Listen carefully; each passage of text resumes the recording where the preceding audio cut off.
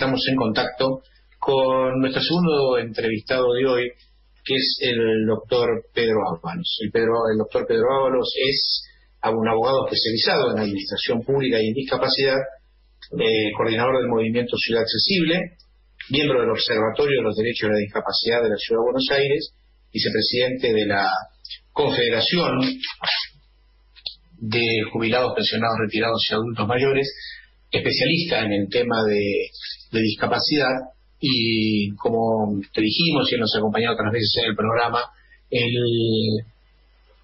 aborda este tema desde su propia historia personal. Él desde muy pequeño es cuadripléjico, tuvo la inmensa voluntad de superar esa situación y hoy mm, de haberse capacitado, de haberse recibido como profesional y de volcar hoy sus conocimientos en aquellos que, que lo necesitan. Pedro, te agradecemos muchísimo el contacto con No Mires para otro lado. Oscar Merlo y Oscar Castellucci te saludamos.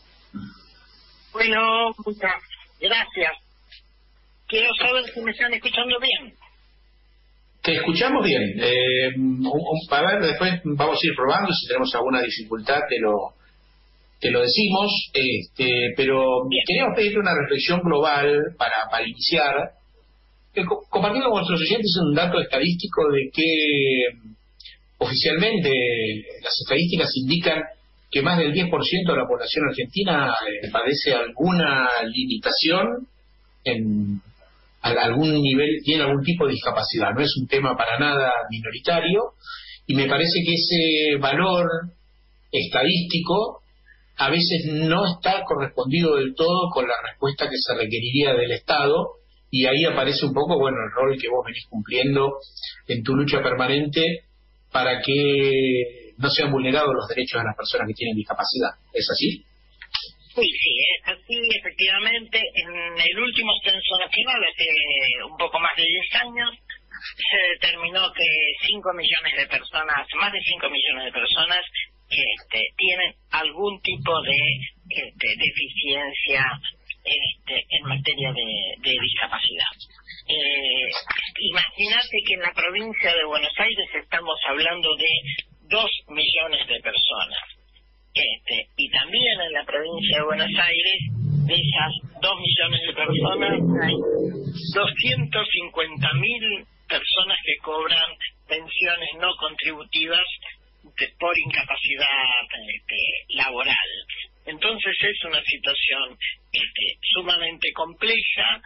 En primer lugar, que tuvo eh, un duro golpe en la etapa del, del macrismo. Lo más conocido fue la supresión de 170.000 pensiones no contributivas sin ningún fundamento, cuando la justicia le pidió los, los fundamentos de, de la suspensión, tuvieron que retrotraer toda la situación, pero mucho más eh, este, importante quizás es que se cajonearon 130.000 pensiones no contributivas durante los cuatro años de, de Macri.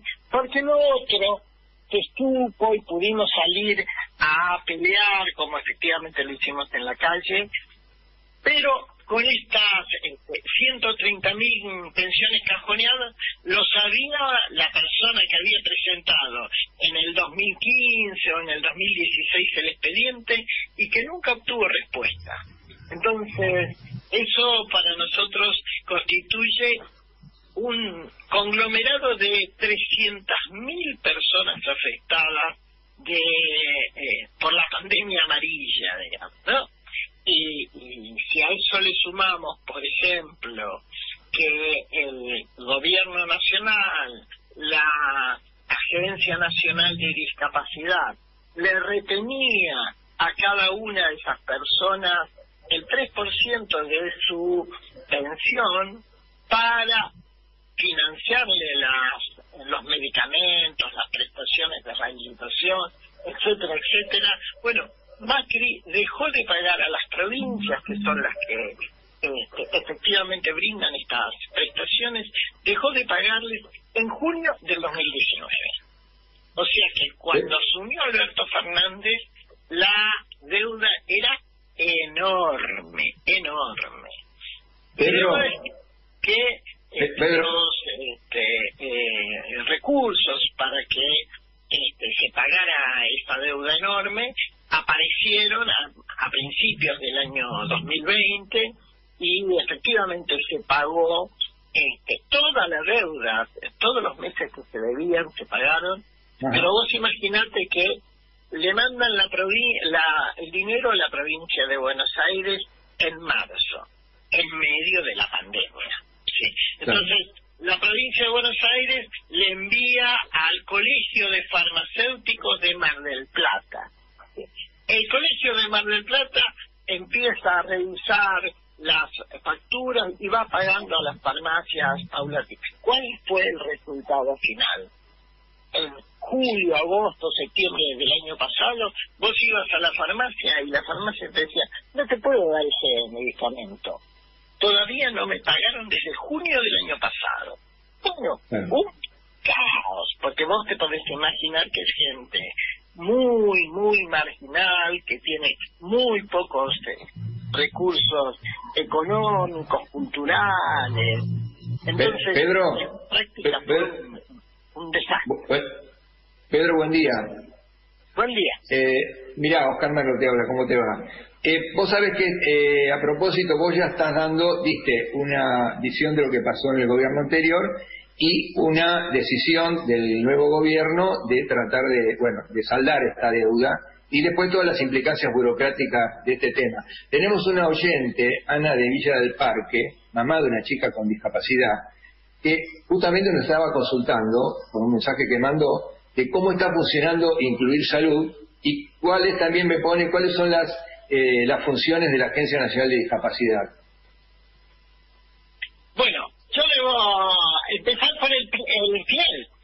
Entre las de la Agencia Nacional de Discapacidad está la de asignar pensiones no contributivas a esas personas y le retiene el 3% de los haberes para financiar el programa Incluir Salud. Y la realidad es que el programa Incluir Salud nunca funcionó bien, pero con la pandemia funcionando aún de manera más deficitaria. Que uno de los problemas que tenemos en la provincia de Buenos Aires es que no te admiten la receta electrónica. ¿Qué es la receta electrónica? Es la foto de la receta en papel mandada por WhatsApp, no tiene ningún secreto ni ningún sistema aprobado por la NASA. ¿sí? Bueno, este, por eh, resolución de el director de Incluir Salud, no se reciben eh, recetas electrónicas. Entonces, imagínate que la persona primero tiene que ir al hospital para que le den la prescripción. ¿sí? Después tiene que volver a la oficina de Incluir Salud, que en general está en el hospital, pero haciendo en otros días. Entonces, tiene que volver para que ahí lo verifiquen, verifiquen que está afiliado, etcétera, le pongan un sellito autorizado. Y cuando está autorizado llega a la farmacia y se encuentra con que el farmacéutico le dice, a mí no me pagan desde eh, eh, junio del año pasado, del 2019 estoy hablando, ¿no? Desde junio del 2019. Entonces, cada receta tiene espacio para dos prescripciones. Entonces, se firman con la receta por dos prescripciones, te entregan un medicamento y con la receta por dos prescripciones no se quedarán, capaz que este, cobran por los dos medicamentos o no, pero la realidad es que la persona vuelve sin la totalidad de la, de las recetas. Y en este momento, además, en la provincia de Buenos Aires, están cambiando el caballo en el medio del río. Entonces, lo que está pasando es que muchas oficinas de Incluir Salud no están atendiendo. Entonces, nosotros le pedimos, en primer lugar, a eh, incluir salud de la provincia de Buenos Aires que dé una respuesta rápida a esta necesidad urgente. Y a la Agencia Nacional de Discapacidad lo que le pedimos es que aplique el convenio de incluir salud, porque el convenio que firman todas las provincias prevé que si por cualquier motivo, por cualquier motivo, la provincia deja de brindar las prestaciones, lo que debe hacer incluir salud es proveerle el medicamento a la persona que lo necesita. Y esto es muy simple, porque vos mandás, si admitiera la receta por vía WhatsApp, vos mandás la receta por vía WhatsApp, alguien en la Agencia Nacional de Discapacidad. Verifica que vos sos afiliado a Incluir Salud, entonces te piden la farmacia más cercana, le mandan al CBU de la farmacia más cercana el importe. Pedro, Pedro, pero ahí me da la impresión, yo te, digo porque yo soy eh, afiliado a IOMA y, eh, y vivo en Capital, pero tengo prestación de IOMA porque trabajo en provincia y activo, ¿no? Y a mí la, la, la, la receta eh, por WhatsApp, digamos, electrónica, me la aceptan acá en Capital. Me parece raro que en provincia no se acepte. Digo, puede haber también alguna jugada del colegio de farmacéuticos, de alguien que esté queriendo este, de alguna manera manipular este tema, porque me parece muy raro. Yo te, te digo lo que ha pasado. Yo me he reunido especialmente, presencialmente, con Daniel López, que es el director de eh, Incluir Salud a nivel nacional, en la Agencia Nacional de Discapacidad. Y él me dijo a mí que eh, eh, no admitían. Y después de eso fui al Canal 7, ¿sí? al programa Desde la Vida, y ahí volví a plantear la necesidad de que se admitan las recetas a distancia, porque vos imaginate con la persona que tiene alguna discapacidad, le cuesta ir hasta el hospital, volver, es una locura. Y te digo más, yo personalmente he ido a buscar al domicilio de una compañera con discapacidad en la provincia de Buenos Aires, cuyo marido tiene 81 años. Perdón. sí, te escuchamos, Pedro. ¿Preguntaban algo? Sí, este, no, no, eh, termináis y lo que estaba diciendo te quiero hacer una pregunta, sí. Yo he ido personalmente a buscar, el marido tiene 81 años, ¿cómo se va a Bueno, se trasladó al hospital, obtuvo la receta, obtuvo la autorización, yo fui a buscar la receta autorizada a tu domicilio para colaborar, porque te podés imaginar que después tenía que una hora de viaje para llegar a la farmacia que tenía asignada. Y cuando yo le llevé la receta, el farmacéutico me dijo a mí, entonces a mí no me lo contaron, me dijo el farmacéutico, le doy la mitad y se quedó con este, los seis medicamentos prescritos, yo me llevé tres de los medicamentos que la persona necesitaba. Ah, un, un, verdadero despropósito eso, Pedro. Eh, te quiero hacer, te quiero hacer dos preguntas para aprovechar, nos, nos quedan cinco, cinco minutos de programa. Eh, eh, dos, dos cuestiones. Una, porque también nos preguntan nuestros oyentes por un tema que a mí me parece fundamental en cuanto a la cuestión de discapacidad que estamos abordando, que es el tema de los cupos laborales. Estamos de acuerdo en que trabajar es aquello que te hace persona, que te dignifica. Este, que hay una gran dificultad, a pesar de que hay una ley, de un cupo laboral de personas con discapacidad, que creo que es el 4%, pero que en la realidad solo una de cada tres personas con discapacidad consigue trabajo. ¿Cómo se hace? Y te agrego, ampliando no solo cómo se hace en este tema, sino yo sé que vos prestás un asesoramiento que es muy importante a las personas con discapacidad, dónde ubicarte y cómo. A ver si me, me las dos respuestas a, la, a la pregunta. Brevemente, no se cumple nada no se cumple nada. Y la otra respuesta que nosotros estamos elaborando es que nosotros en este momento estamos impulsando la conformación de un partido político que reúna las necesidades de las personas con discapacidad, de los jubilados, de los trabajadores tengan o no tengan trabajo. Es el Partido Confederal sobre la base de la Confederación de Jubilados. Y el jueves que viene, a las 10 de la mañana frente al Ministerio de Trabajo, vamos a iniciar ahí la campaña de afiliación porque la realidad es que los funcionarios miran para otro lado. Y además, la persona que está a cargo en este momento de la coordinación de empleabilidad de las personas con discapacidad, la designó Macri. Entonces, la realidad, ¿qué podemos esperar? ¿Qué podemos esperar? No se cumple el cupo, no se cumple la, este, eh, no se cumplen los kioscos para personas con discapacidad.